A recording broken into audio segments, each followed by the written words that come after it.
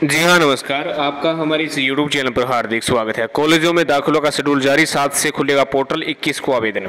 Corona संक्रमण की वजह से हरियाणा के कॉलेज में नए स्तर के लिए अब दाखिला प्रक्रिया शुरू होगा। सीबीएसई तथा भिवानी बोर्ड की दसवीं और बारहवीं परीक्षा के नतीजे घोषित करने के बाद सरकार ने उस तरह शिक्षा शिक्षा विभाग को तैयारी करने को कहा है। पूरी तैयारियों के बाद उच्च स्तरीय शिक्षा विभाग के महानिदेशक अजीत बालाजी जोशी द्वारा एडमिशन शेड्यूल जारी किया गया है। पूरा सिस्टम ऑनलाइन चलेगा। विभाग ने ऑनलाइन एडमिशन पोर्टल जारी कर दिया गया है। विभाग की तरफ़ से आपको बता दें कि वेबसाइट पर इसका उल्लेख है। महानिदेशक की ओर से सभी सरकारी एडिड व कॉलेज प्राइवेट कॉलेजों के प्राचार्यों को इसके लिए निर्देश जारी किए गए हैं। पोर्टल सात सितंबर से खुलेगा और इस पर ऑनलाइन फॉर्म जमा होंगे। फॉर्म जमा करवाने की आखिरी तारीख इक्कीस सितंबर होगी। बाईस से पच्चीस सितंबर तक फॉर्मों की जाँच व छटनी होगी।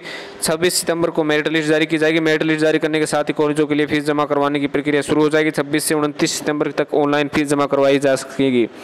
और इसके बाद दूसरी मेरिट लिस्ट तीस सितंबर को विभाग में जारी होगी। इसके लिए पहले से पाँच अक्टूबर तक फ़ीस जमा कराने का शेड्यूल तय किया जाएगा। छः अक्टूबर से काउंसलिंग शुरू होगी। अगर पहली और दूसरी मेरिट लिस्ट जारी होने के बाद तय समय में फ़ीस जमा नहीं करवाई तो उसकी सीट रद्द कर दी जाएगी। तो बड़ी खबर है, जो बीए करना चाहता है या अन्य कोई भी डिग्री करना चाहता है बी कॉम बी कुछ भी तो सात से पोर्टल शुरू हो जाएगा। इक्कीस तक आवेदन कर सकेंगे, ऑनलाइन आवेदन प्रक्रिया होगी। तो ज़्यादा से ज़्यादा इस वीडियो को शेयर कीजिएगा। जॉब पर जॉब से रिलेटेड अधिक जानकारी के लिए इस चैनल को ज़रूर सब्सक्राइब कीजिएगा। धन्यवाद।